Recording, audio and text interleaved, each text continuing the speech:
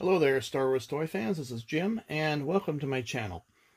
Well, this is sort of an ad hoc video that I'm putting together tonight because I'm making some modifications to the 1997-98 uh, speeder bike that was produced by Hasbro. And you'll see that I've got uh, bits and pieces of a speeder bike here, and uh, this one's missing this uh, fairing fin at the front. I think that's what you call it and uh, this one's fairly complete. Uh, and then this is the Hasbro release of the Hoth speeder bike, and it's just a real piece of junk. And I'll talk a little bit about that. So I bought these three from Mercari for $15. And, you know, that's a heck of a deal to get a speeder bike in that condition, uh, complete. And this one's more or less complete, even has the bottom gun. And then this one, of course, obviously is is just kind of a parts vehicle. From my one that I had as a kid, the landing gear popped up and down really easily with the with the flaps here. And you'll notice that there's a little bit of resistance, uh, but it's a lot better than it was. This one notice that it, uh, oops, I guess that's not hooked up here. Okay, so we'll go ahead and push that back in. Let it snap into place. All right, so watch what happens with these flaps. I mean, it just kind of hangs in place. That was not the case with the vintage Kenner speeder bike. And uh, the, these don't like to stay in. So there's a couple modifications that I did to these. And uh, on the first one, well, well, the flaps just happened to, to not move at all. So what I did is I loosened them up by creating more clearance.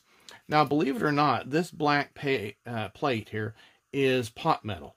I thought it was plastic, but it clearly is metal because I started uh, trying to scrape it off with uh, with my knife and just gently get uh, scrape off enough what I thought was plastic so I'd have enough clearance for these flaps. But still, it was uh, it was not happening, and I'm like, well, plastic should be uh, coming off a lot easier than that, and uh, and it ended up really shiny. And I'm like, well, what kind of plastic is this? Well, you can clearly see that's pot metal. So this whole back plate is pot metal.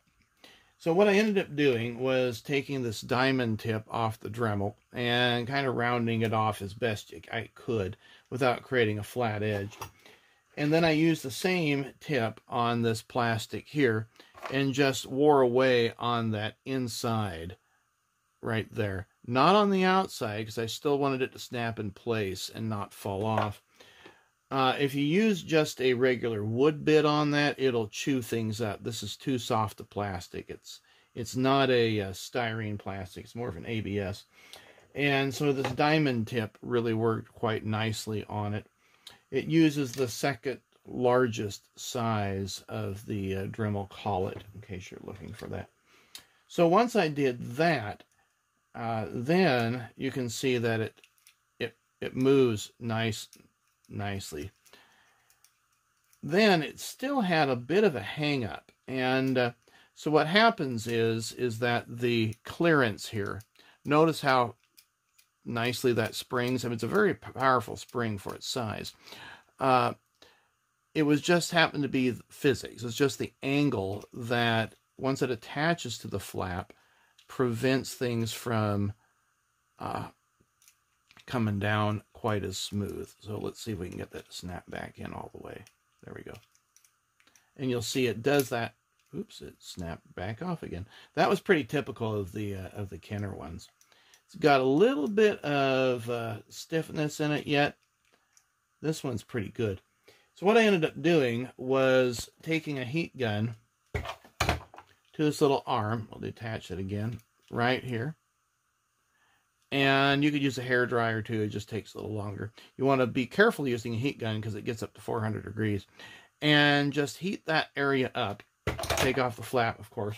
And then take an ice pack and cool it back down, setting the distance away that you need. So this needed to be just a little bit cockeyed to where it met the angle that that comes down.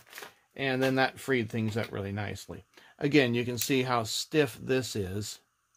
I mean, nice spring action but once I hook up the the the flap, then it's just totally stiff. I mean, it doesn't spring at all. Now, what I hope to do is to create a Hoth speeder bike out of one of these. And then uh, the other one, I, I, think I will give to my son for Christmas. And uh, probably this uh, this complete one here. So I'll probably modify this one. I just need to get the nose. Maybe I'll steal this one off of it. Because this this is this uh, speeder bike that came with a two-pack uh, with some Biker Scouts. Now these, instead of having a spring in there, it just uses plastic and there's plastic tension. And so it looks like it works really well, but there's actually no spring. And so consequently, when once you get the flaps in there, uh, it doesn't sit level. Like these, those springs keep those speeder bikes sitting up. This has got a case of sagitis. I mean, this thing just, it's just horribly done. In addition, it doesn't explode. You press this and nothing happens. So I want to make a Hoth speeder bike that explodes and actually sits up properly. This is, in my opinion, just a piece of junk. Even though it still has the same copyright date. I mean, they've they've even fused the whole thing together. It's it's quite sad.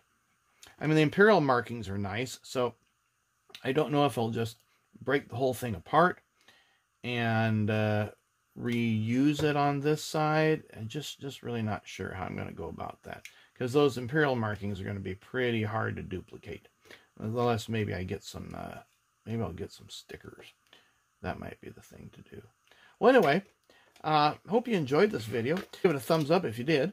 If you liked what you saw, you know, making those those Power of the Force 2 ones more useful, then awesome. Take care. We'll see you on another video.